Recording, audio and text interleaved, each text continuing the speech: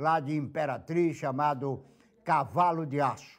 Não dá para avaliar quem vence, é evidente que o time da casa tem mais possibilidades, vem de uma goleada de 5 a 1 sobre o Santos do Amapá, o tricolor piauiense com dois jogos em Teresina, dois empates e uma vitória diante da equipe do Santos por 1 a 0 lá no Amapá.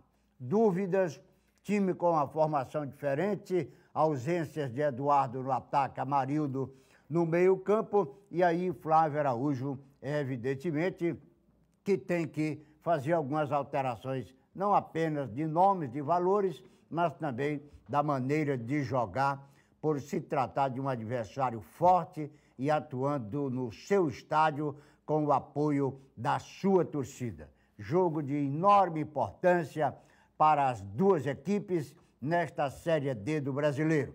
O horário marcado pela CBF é 19 horas e 15 minutos para o confronto de amanhã à noite na cidade maranhense.